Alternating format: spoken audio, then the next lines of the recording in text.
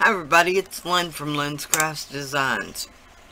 I've got another tutorial on the hollow bead. I say bead, hollow pendant. It's a 2 by 2 it was a circle in this case. Um, the stamping didn't turn out so well, but still it's really pretty. I'll find something else to do with it, don't worry. This one I'm going to do with the gold Premo. You should be able to see that a little better.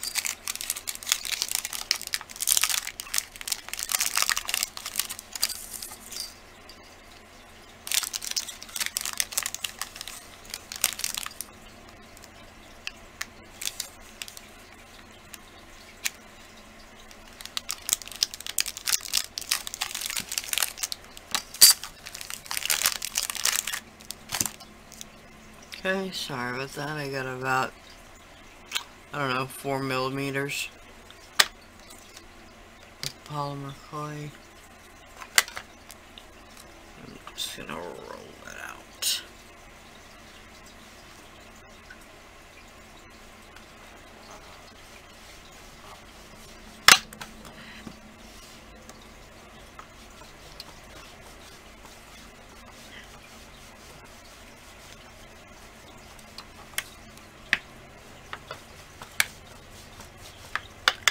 Just trying to get it down thin enough to go through my pasta machine.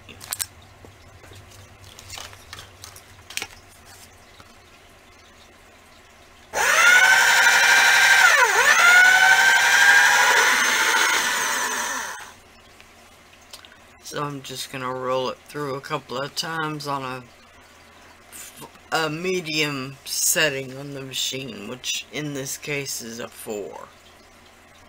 Now, your machine may run um, 9 to 0 or 0 to 9. They, they vary quite a bit. Um, so, I'd just say a medium setting. You'll just have to decide what that is for yourself. Alright, I'm going to keep rolling this through till it's conditioned. Then I'll be back.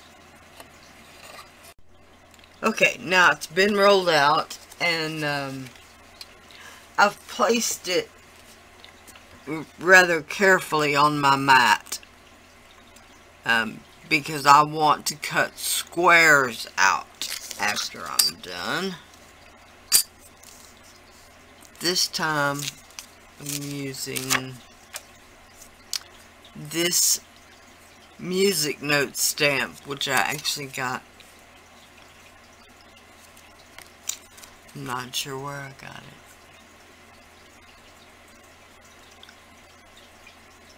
I'm not sure where it came from, so it's a music note stamp. That's all it is. So just um, choose your texture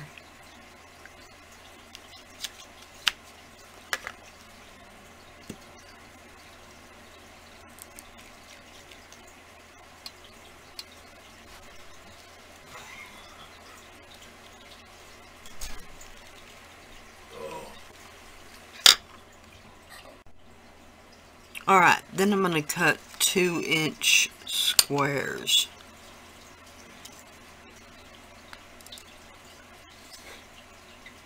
So even if you don't have a grid, just measure it out with the rule. ruler.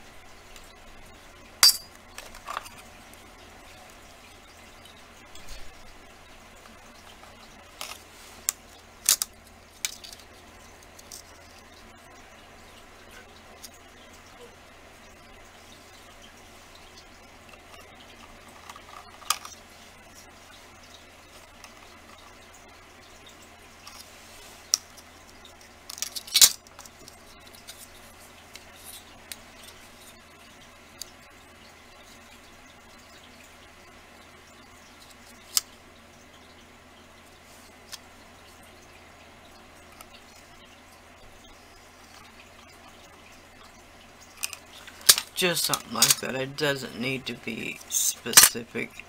It doesn't have to be exact.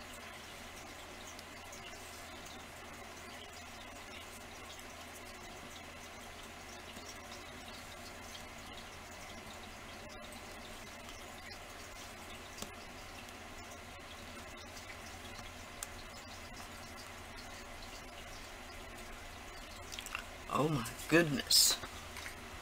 What a lot of trouble. Okay, I'm sorry, and we're gonna do this again. If I could have got two out of that, I would.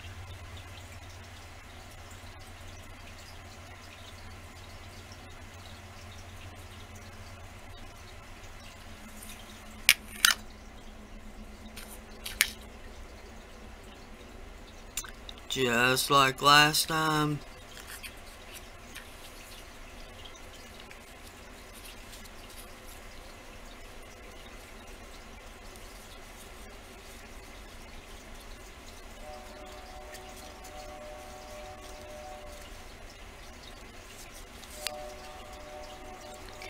Just something like that. Just make sure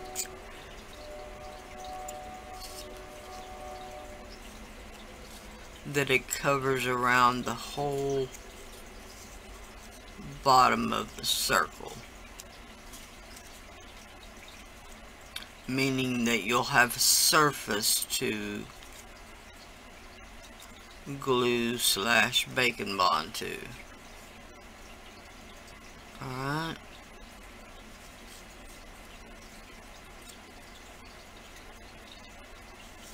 Okay, and then like I said, I'll need to do this again.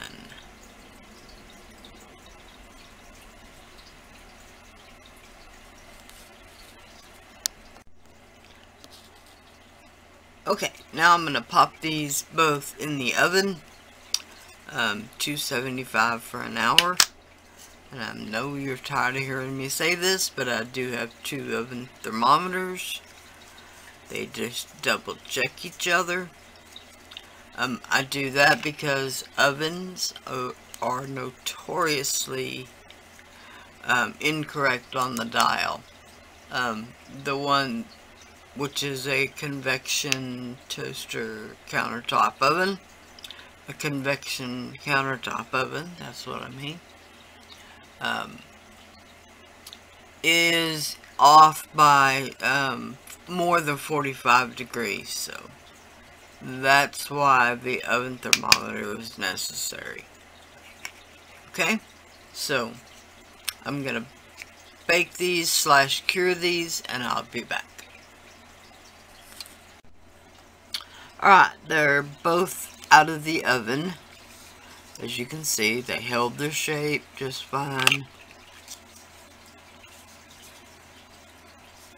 Okay, so I've done another square piece that I'm just going to leave flat. And it's going to go in between the two pieces. Alright. I did um, do both sides, but of course one got flattened out during the, the rolling of the second one.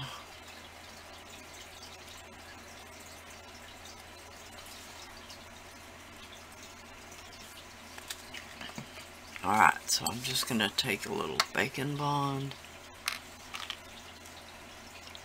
And I'm just going to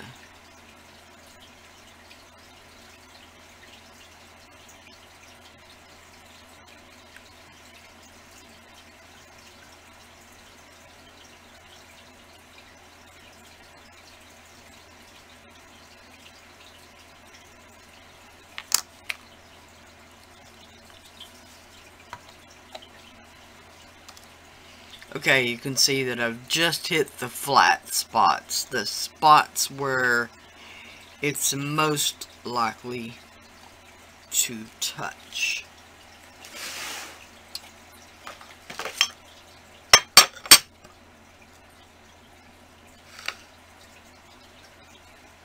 Just because I didn't want to have to scrape it off my glass again.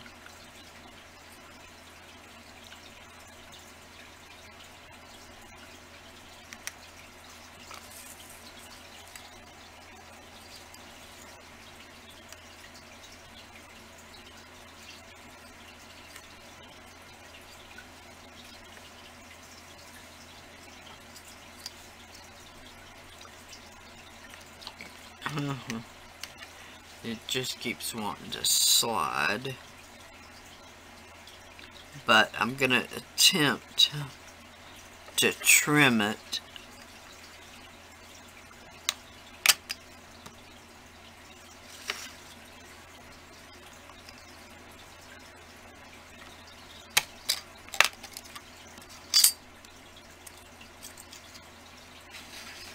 Okay, and then one more.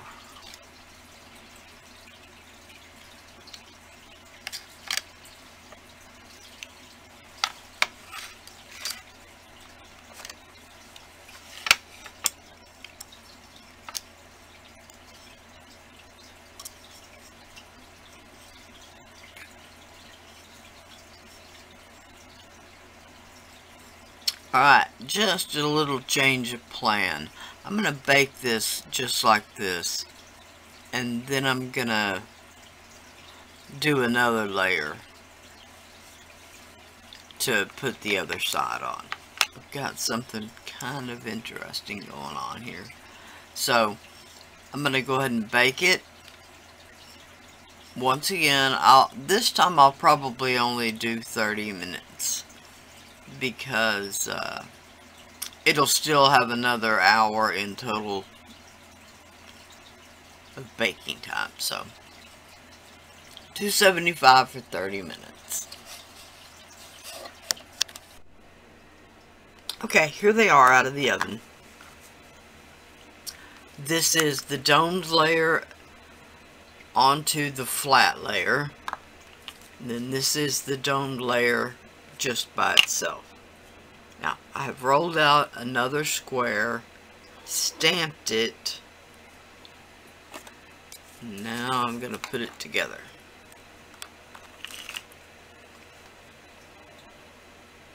So, putting Bake and Bond on the flat surfaces. Now here and here I don't really have a flat surface to speak of.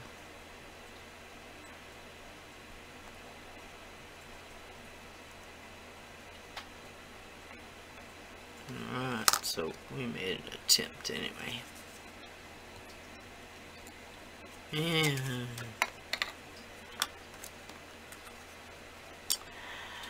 And Bake and Bond on the back of the flat.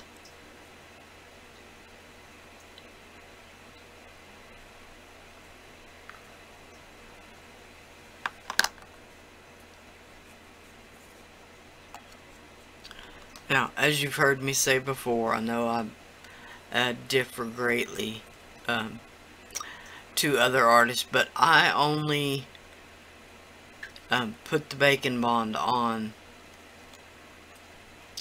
and I don't smear it out. I leave I leave it just like it comes out of the tube. It's the same principle as in carpentry. When you glue a mirror to the wall in your bathroom, you leave these air pockets. It creates suction to hold on to the piece. Alright.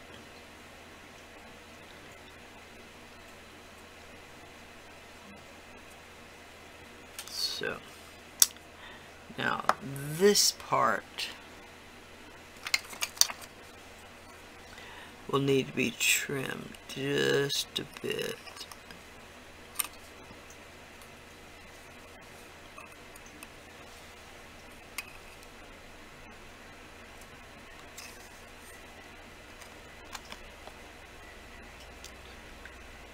That's a little bit better.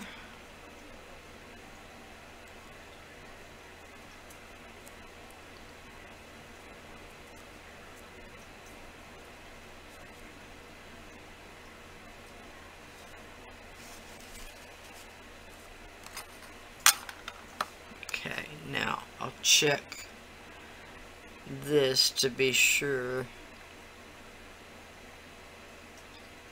I'm putting it the right way up.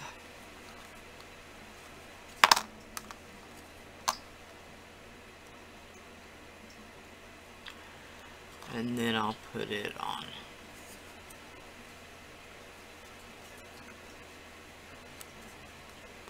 Now the Bake and Bond will it will bake mostly translucent, so. Okay, when I looked at this the first time, you gotta, you gotta really search around. This one will tell you which way is up.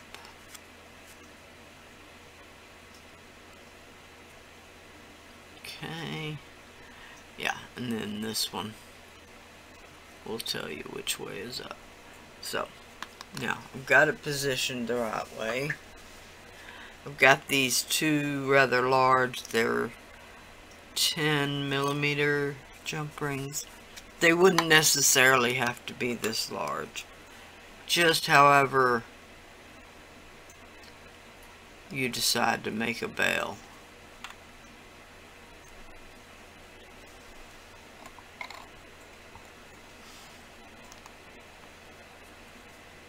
Now, I realize so far it's not much to look at.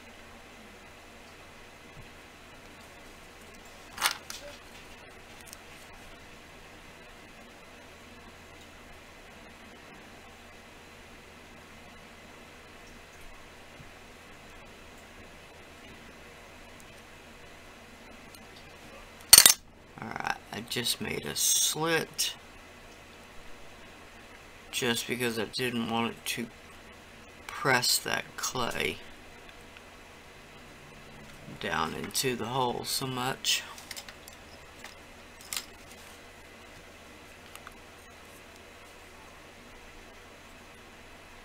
Just using my knitting needle to spread out that Bake and Bond a bit. And then I'm going to go ahead and put another jump ring at the bottom.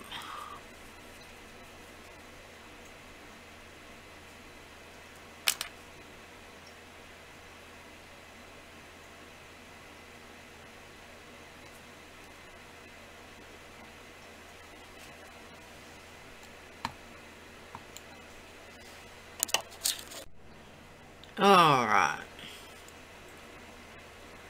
So, I'm not going to concern myself with how the edges look necessarily because I want it to look like um, pages of a music hymnal. Alright, so I'm just going to bake this one last time for 30 minutes and then I'll be back. Alright, here it is out of the oven. It's already looking like a Halloween, a Halloween ornament, isn't it? Yeah, mm -hmm, a Christmas ornament, isn't it? Now, you could do the same thing with just the circle cutter.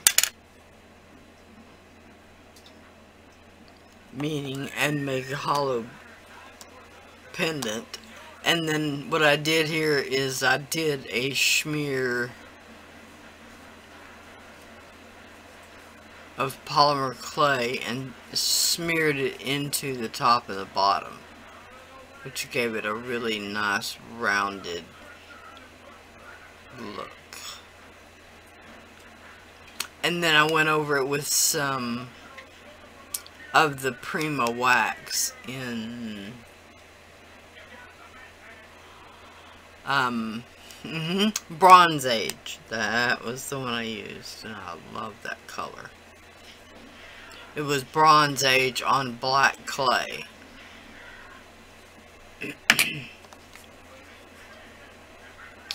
so, same thing here.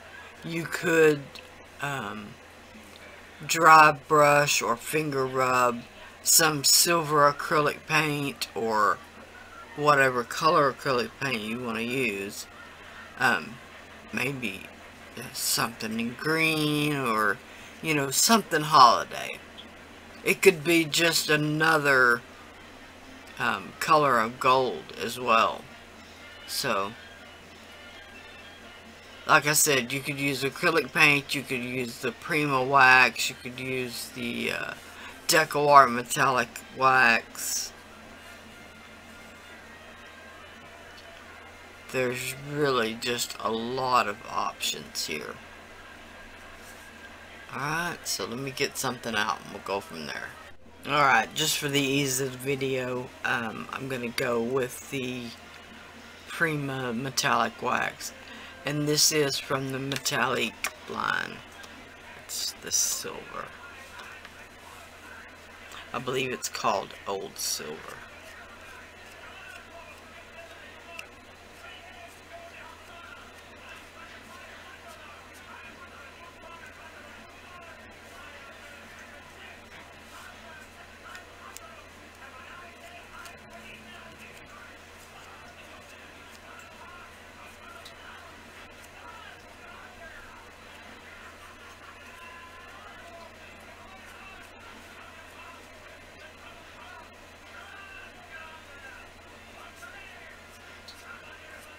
Alright, something like that. Oh, that's so pretty.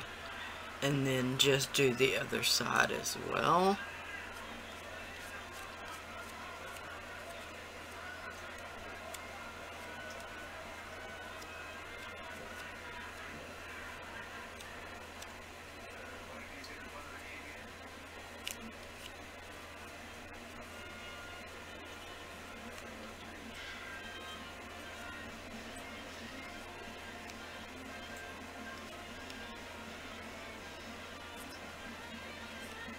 Alright.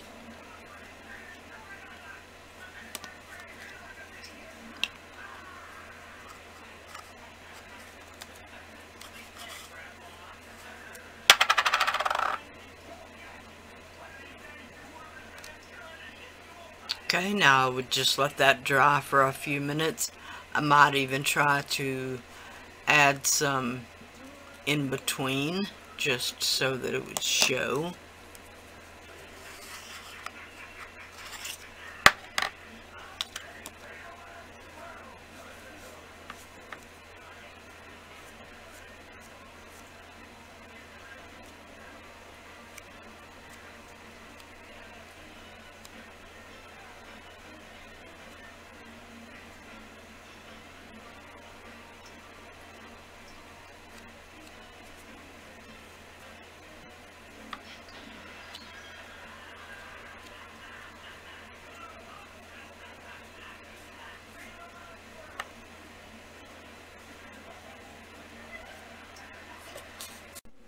Alright, here it is, out of the oven, all put together.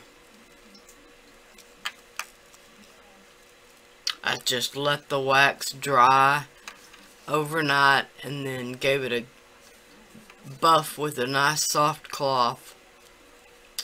I pulled out one of the pearls from uh, one of my other videos and then I made a I just made this with a uh, hand hand rolled bead and then I rolled it on the same texture sheet that I did the uh, hollow pendant from. So there it is. A double-sided fun holiday pendant and I have no idea what to call it. We'll call it a hollow a hollow pendant. A hollow music note pendant. A hollow hymnal pendant. I don't even know. Anyway, there it is. If you got anything at all from this, please like, share, and subscribe. I've got my social media links listed below. Um, Facebook, Instagram, Twitter. I've got a new Patreon page. So, come join me wherever it is. Bye for now.